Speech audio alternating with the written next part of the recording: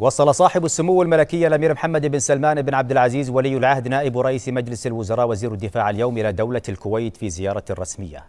وكان في استقبال سمو ولي العهد لدى وصوله المطار الأميري صاحب السمو الشيخ مشعل الأحمد الجابر الصباح ولي عهد دولة الكويت. كما كان في استقبال سمو ولي العهد معالي رئيس مجلس الأمة مرزوق علي الغانم ومعالي رئيس ديوان سمو ولي العهد الشيخ أحمد العبد الله الأحمد الصباح وسمو الشيخ صباح الخالد الحمد الصباح رئيس مجلس الوزراء وكبار المسؤولين في دولة الكويت.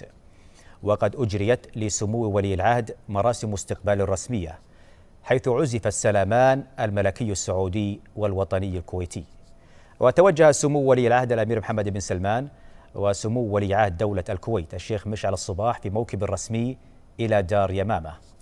ويضم الوفد الرسمي صاحب السمو الملكي الأمير عبد العزيز بن سلمان بن عبد العزيز وزير الطاقة وصاحب السمو الملكي الأمير تركي بن محمد بن فهد بن عبد العزيز وزير الدولة عضو مجلس الوزراء وصاحب السمو الملكي الأمير عبد العزيز بن تركي الفيصل وزير الرياضة وصاحب السمو الملكي الأمير عبد العزيز بن سعود بن نايف بن عبد العزيز وزير الداخلية. وصاحب السمو الملكي الأمير عبد الله بن بندر بن عبد العزيز وزير الحرس الوطني وصاحب السمو الأمير فيصل بن فرحان بن عبد الله وزير الخارجية وصاحب السمو الأمير بدر بن عبد الله بن فرحان وزير الثقافة ومعالي وزير الدولة عضو مجلس الوزراء مستشار الأمن الوطني الدكتور مساعد بن محمد العيبان ومعالي وزير التجارة وزير الإعلام المكلف الدكتور ماجد بن عبد الله القصبي. ويضم الوفد المرافق صاحب السمو الأمير سلطان بن سعد بن خالد سفير خادم الحرمين الشريفين لدى الكويت ومعالي نائب رئيس المراسم الملكية الأستاذ راكان بن محمد الطبيشي